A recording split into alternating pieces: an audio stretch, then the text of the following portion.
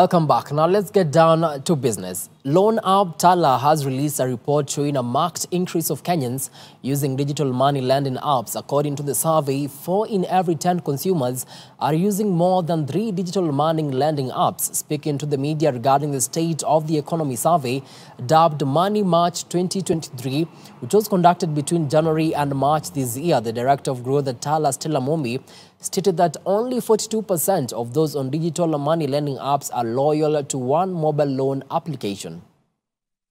Part of the things that have come at the advent of fintech and digital lending has been how does financial literacy completely evolve and change.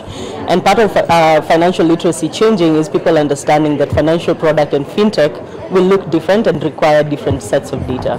Uh, an example I like to give is if you go to get a loan today um, from a bank, then you'll of course be presenting pay slips and, and bank statements, etc.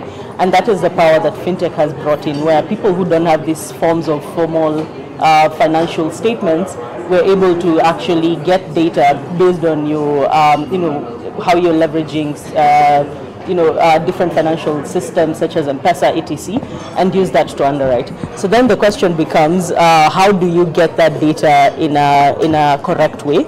Because we truly believe that customers have consent over their data or customers own their data. So that's where the question of giving consent actually comes in.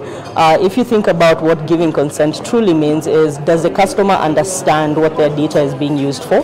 do they understand what data is needed and do they actually understand that that data is needed to enable them get access to the service the same way if you take your statements to a bank you understand that that is what they need to be able to uh, underwrite you for a loan so that said i think part of the challenges that we had as an industry is uh, as of for example last year we had 300 plus digital lenders in a very unregulated market. So we had what we call good actors, uh, such as Tala and, and, all the members who are part of uh, the Digital Lenders Association of Kenya.